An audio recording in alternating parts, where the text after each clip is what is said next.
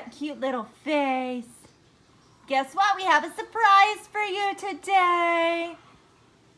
Let's see your new bed. Oh my gosh, you're so cute. Look what this says. We have a surprise for Queenie. Let me see it.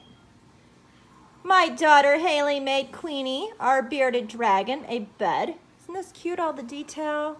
Little roses. She loves to sew and make crafts. All right, let's see if you like it. Come here, baby. Come here, baby girl. Look at that. Oh, you're so cute. Hi. Do you love your new bed? You're so spoiled. Let me see that face. Okay. Well, this is what's going to go in your cage, and you can rest on it. She loves blankets. She's so spoiled. At night, we cover her with a blanket, and she just goes to sleep. Yes, you do. Look at those ears. Can you say bye? Say bye, guys.